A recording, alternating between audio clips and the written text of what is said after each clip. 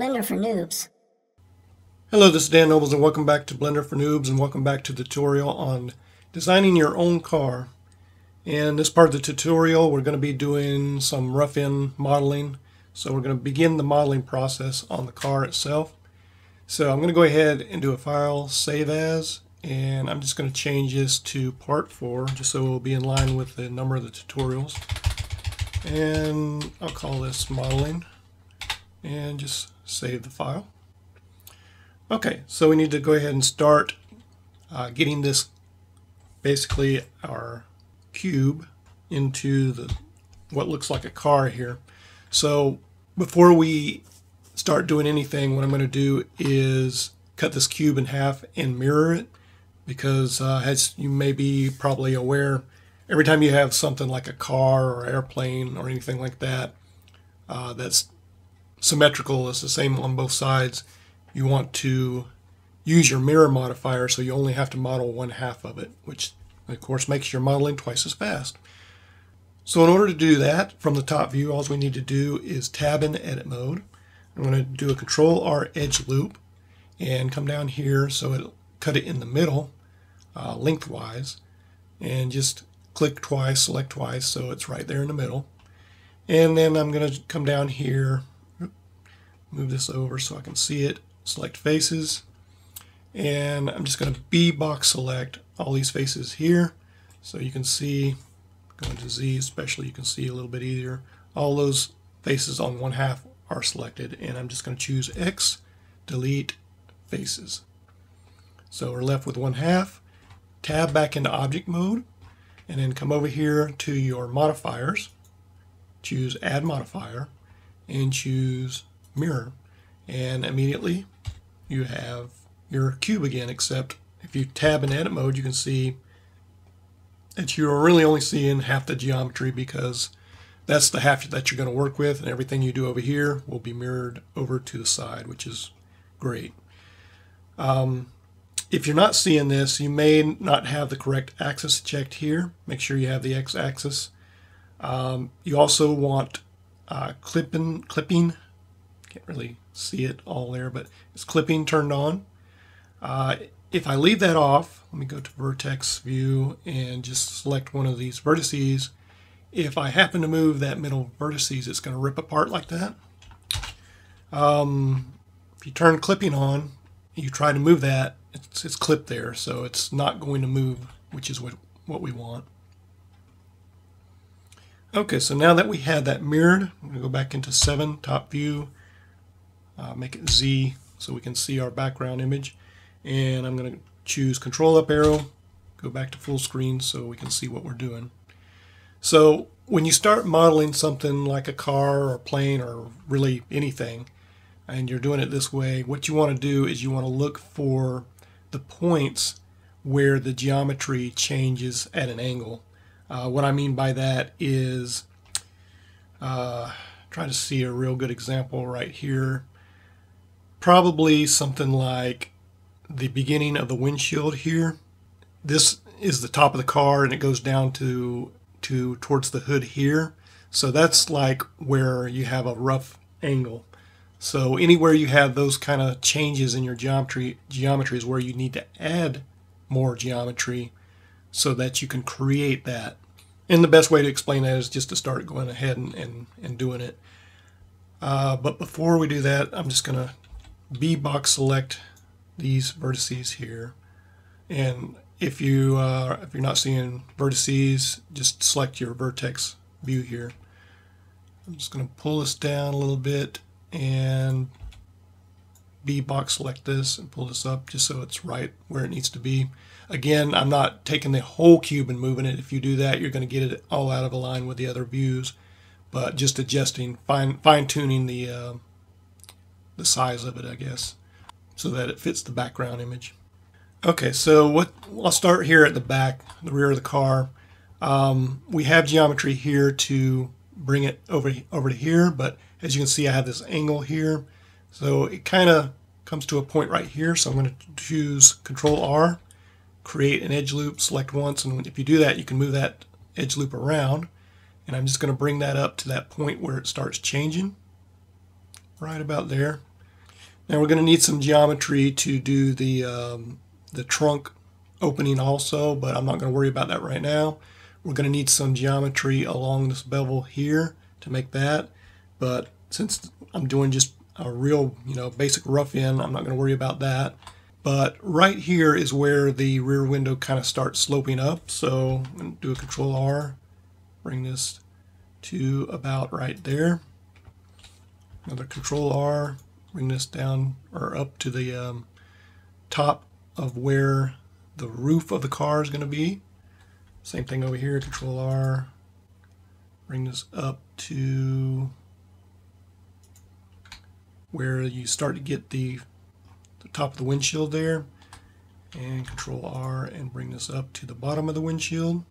And then maybe I'll go ahead and do a control R and do this where the start of that bevel for the front wheels go control R to where it ends here and that's also the point where this kind of curve stops so we're good there so now we can start adjusting some of this geometry if we need to so like this I'm going to do a B box select because remember we are selecting not only the top one but there's geometry underneath that as well. And I'm just going to move that over to that point there. I'm not going to move this one over to this bevel because I'm not sure what yet I'm going to do with that bevel. I think it's going to be lower uh, and it's going to come out at, at a bevel, but we'll see. Just depends on how I do that. And then I'm going to come all the way to the front of the car, B box select these vertices and just bring them over kind of where that geometry starts. In fact, uh, I might even bring this up a little bit.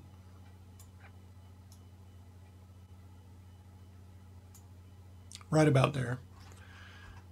Okay, so if we choose Z, we can see we're starting to see something, but it's not a whole lot. I'm going to choose Control Up Arrow. Let's go into this the uh, side view now, control up arrow. And we're going to do basically the same thing. We're going to look at uh, points where angles are sharp and we're going to need geometry there to add in. So I'm going to choose control R, add an edge loop, and I can see that I need one right in, in this area here because this is a pretty sharp point where the start of the hood goes. Uh, I can see one here as well where the, you have the start of the um, windshield in the end of the hood really. So control R and somewhere like right in there. And you can see here also my uh, my reference images aren't really lining up. This would be this line right here. If I can alt select that is really the start of that windshield. And then one thing I didn't see from the top view is this kind of uh, angle right here. So I'm going to go ahead and choose Control R and put an edge loop right there. And then again, looking across the side of the car, um, I do have the very top of the uh, back here, but I think I can use the existing geometry that's there, pull it down. So I'm going to leave that as it is right now. For the top of the wheel wells or fenders, I have this line here which should suffice, or this edge. So now we need to start moving our geometry around. I'm going to alt select this edge here and I'm just going to bring it down. I'm actually going to use this for the bottom of this line here and use the top for the top of the hood. I think that'll work out better hopefully. So having done that I need to move this down away from the top of the hood and these as well.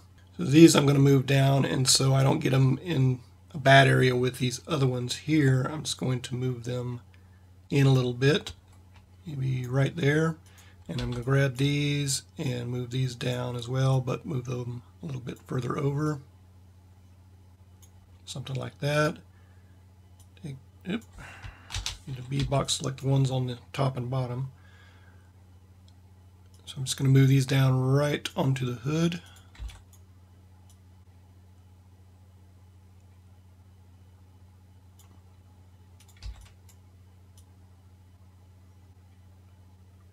And let me make sure that is the start of the windshield. It is. Okay. So this one, the middle. No, that's actually, let's see. Yep, it's in the middle. So this one, or these, I can move right onto the windshield. This is where it needs to be. These need to come down a little bit.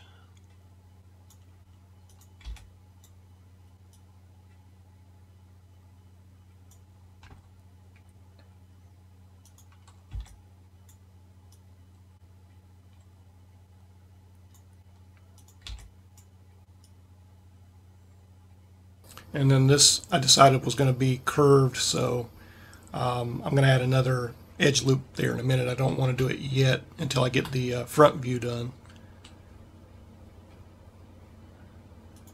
And then these, let's move them right up to about right there. And coming back along the bottom,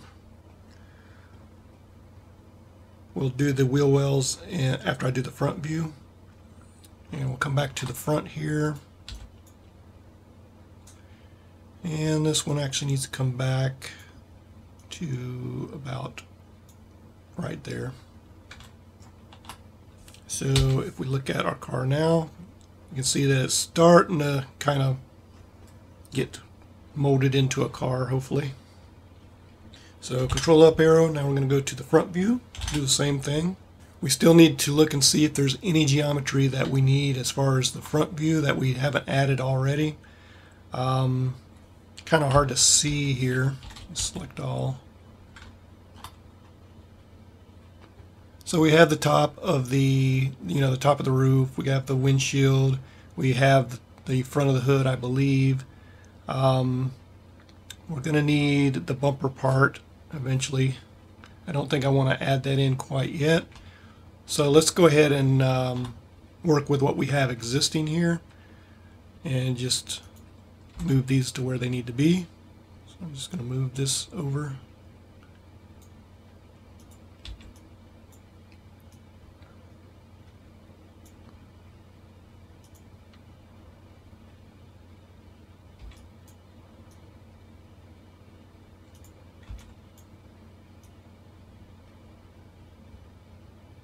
And as you can see, the front view is not lining up either, but that's okay. It's just a very rough, rough guide to help us along.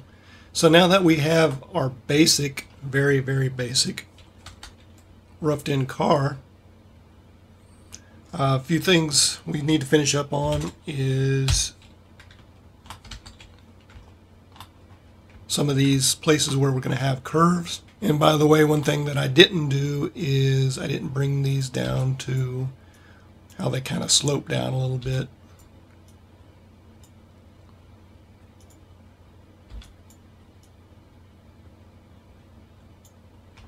Okay, so over here on the back, I'm going to go ahead and add Control R, another edge loop.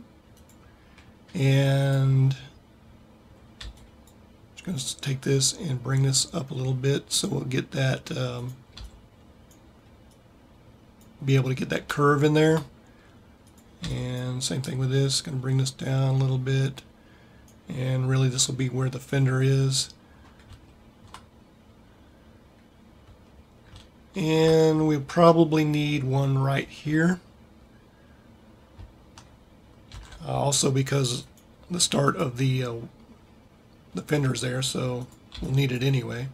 But I was looking at the, uh, the top of this um, rear windshield where it curves down there. Okay, so for the wheel wells, what you need is you need uh, geometry on both sides of the wheels and one right in the middle. But you also, in order to get this curve here, need two on each side of here. So I'm just going to choose Control R put one right there, Control R, put one right there. Same thing for the front. We have this one, but we need another one over here, Control R. So that's the start of the wheel well. Need one in the middle, Control R, put it right in the middle there, and then a couple over here. Okay, so then when you start to create the wheel well, what we'll do is we'll take all three of these, Start moving them up a little bit. And then these we will use to create our points. So we have the top is this middle one. So I'm going to choose C, use my middle mouse button to deselect that one and bring these down like so. So you just have that kind of a, starting to get that wheel well set up there. Same thing for these.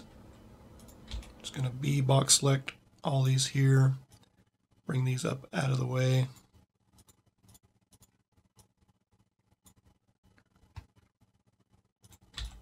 B box select these, bring these up. C select, deselect this one. And bring this down here. And maybe even scale them along the Y, S, Y. Bring them out a little bit. And it looks like we probably can do with another uh, edge along the edge here. So R right in here. And with that, I'm just going to take what I had here, bring this back down, use this as the very bottom, which it should be. And take these, and that will help create the bumper there.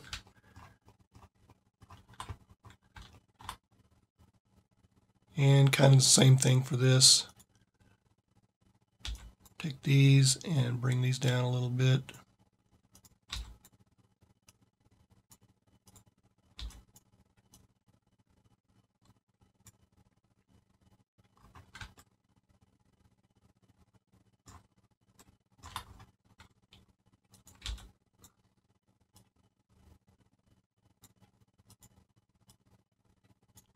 That can give us our space there for the rear bumper and then for over here. Control R, add another edge loop, and that'll be our area for the front bumper. So if we choose Z, go back into object mode and take a look, we have our the, the beginnings of our car. It's roughed in. We'll do a control S quick save. So I think not looking too bad to begin with. Um, if you want to get kind of an idea or maybe some encouragement of how car is going to look, you can also, with your object selected, add modifier and choose the subdivision surface modifier and go ahead and bump this up to two views.